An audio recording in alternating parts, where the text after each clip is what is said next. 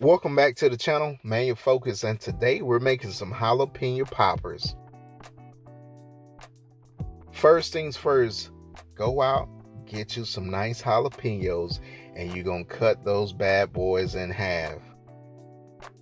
Next, what you want to do is get you a spoon and core out the center. So all the heat is in the membrane and the seed. So on the Scoville level, you're looking at about a 2,500 to 8,000 units. So these bad boys can get hot.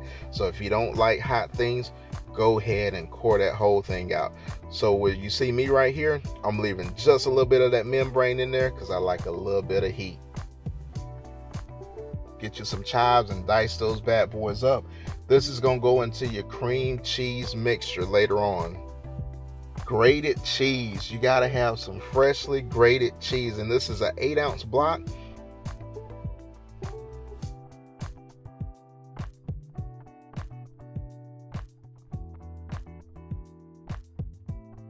Now you got 8 ounces of cream cheese. You're adding your chives back in.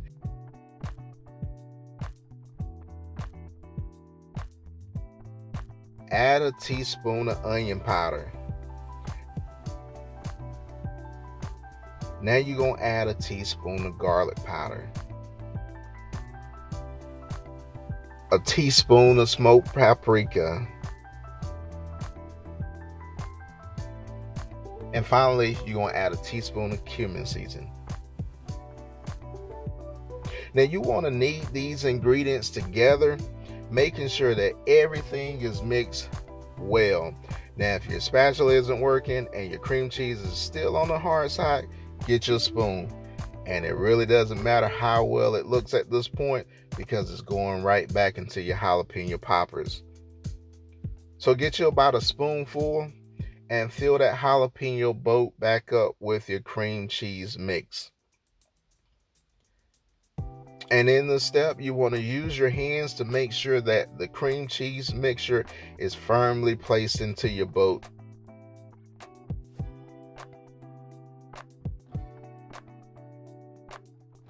Now, if you're new to this channel, man, go ahead and hit that subscribe button.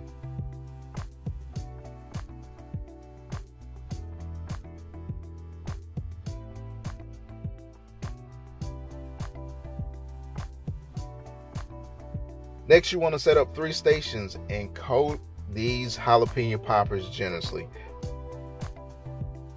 First station is a cup of flour.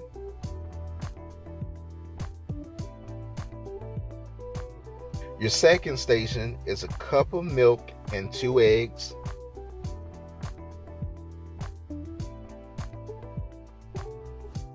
And your third station finally is a cup and a half of breadcrumbs. And it's critical in this stage here that you make sure that your breadcrumbs are packed on.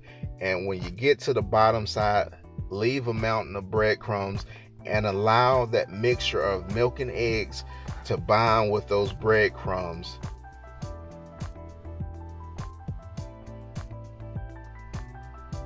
And then you're going to place these in the freezer for 10 minutes get your fryer ready and heat it up and you want to have your fryer set at 350 degrees when you place your jalapeno poppers in you want to make sure that you put them bottom side up so that your mixture of your breadcrumbs and flour doesn't come off in the fryer. And then you take those bad boys out golden brown.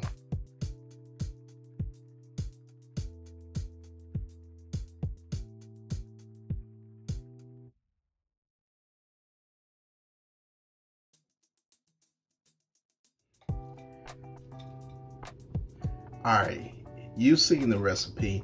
Now it's time to taste these bad boys. I'm gonna give y'all just a little preview right there.